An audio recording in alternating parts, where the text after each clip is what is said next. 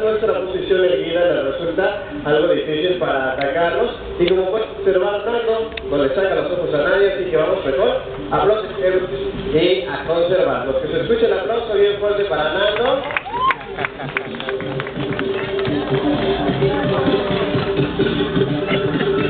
Ok, muchísimas gracias. Vamos a continuación a pasarles allá. Él es otro de nuestros